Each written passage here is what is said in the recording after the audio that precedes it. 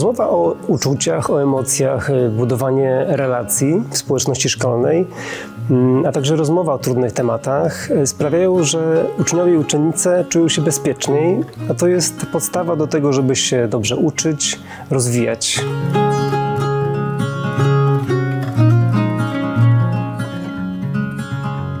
W Szkole Twórczych Praktyk dajemy nauczycielom i nauczycielkom scenariusze lekcji i dostęp do filmów, które pomagają rozmawiać o trudnych tematach.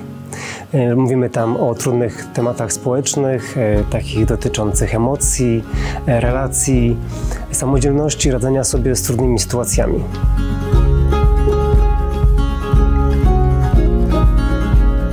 Pamiętam, jak nauczycielka z Wyszkowa opowiadała mi, jak podczas lekcji uczniowie i uczennice pytały ją, jak to jest, że e, dorośli ludzie e, ukrywają swoje uczucia, że widać, że są zezłoszczeni albo smutni, a mówią, że wszystko jest w porządku.